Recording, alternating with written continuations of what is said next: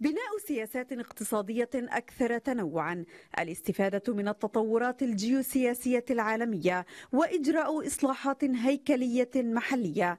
كلها عوامل تضافرت فدعمت المؤشرات المالية السعودية لتحقق ميزانية المملكة العام الماضي فائضا لم تعهده منذ سنوات.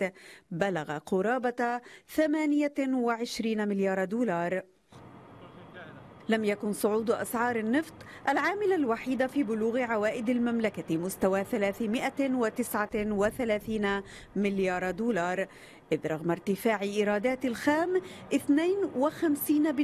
خلال العام الماضي مقارنة بسابقه فإن قطاعات السياحة والنقل والمواصلات ساهمت أيضا في هذا النهوض ذلك أنها قطاعات تمثل حجر الرحى في تنويع موارد اقتصاد السعودية ضمن رؤيتها للعام 2030 البلد الخليجي الذي نما ناتجه المحلي بواقع ثمانية وسبعة أعشار بالمئة خلال العام الماضي.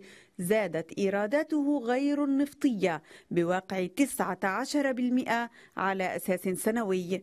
نمو يعكس المكانة التي باتت تحجزها القطاعات الخدماتية والإنتاجية غير المرتبطة بأنشطة أرامكو وتفرعاتها.